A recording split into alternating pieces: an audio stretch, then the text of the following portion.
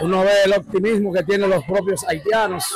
Ellos se sienten más seguros ahora con la llegada de ese refuerzo que se está dando a Haití ahora con la seguridad de Kenia. Se sienten protegidos ahora. Ellos mismos lo, expresan.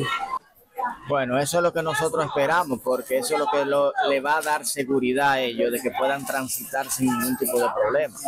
Y eso es lo que ellos mismos han manifestado, que se sienten contentos de que van a tener más seguridad.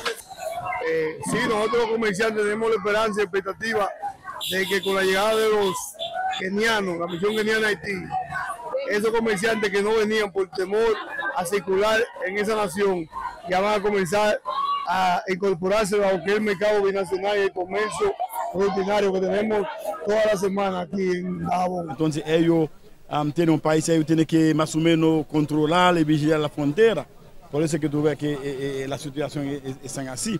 Pero yo creo que con la llegada de la fuerza internacional, dentro de un mes, a dos meses, se van más o menos a, crear la estabilidad y la serenidad en Haití. Eso puede hacer que abrir más eh, la frontera. Estoy de acuerdo en que todos de manera mancomunada podamos articular acciones para proteger la frontera, sin duda.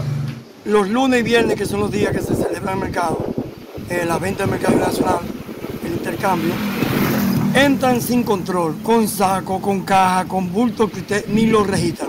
A pesar de haber llegado los kenianos a Puerto Príncipe, la situación por esta parte de la frontera de Pedernales se mantiene resguardada por los miembros del Ejército de la República Dominicana. Los servicios de inteligencia se llama SGO,